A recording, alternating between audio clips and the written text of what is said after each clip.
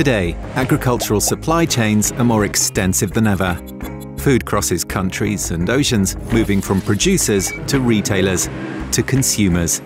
These dynamics create millions of jobs around the world, critical for livelihoods, economic growth and development. They also help developing countries access markets, inputs, finance and technology, and contribute to diverse and healthy diets worldwide. However, at times there can be harmful impacts along the way that can take place from the farm to your table. Globally, the agricultural sector contributes up to 25% of all greenhouse gas emissions, uses approximately 70% of freshwater resources, accounts for 70% of child labour, and is a driver of global deforestation, accounting for up to 73% of tropical deforestation.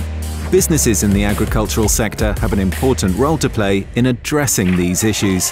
The OECD FAO guidance for responsible agricultural supply chains is the global standard for responsible business conduct in the agricultural sector.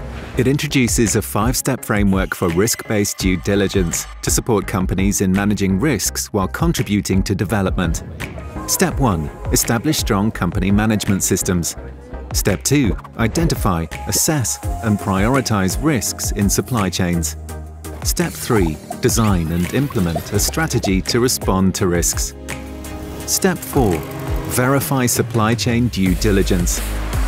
Step 5. Report on supply chain due diligence. Preventing and mitigating risks can help promote inclusive and resilient growth.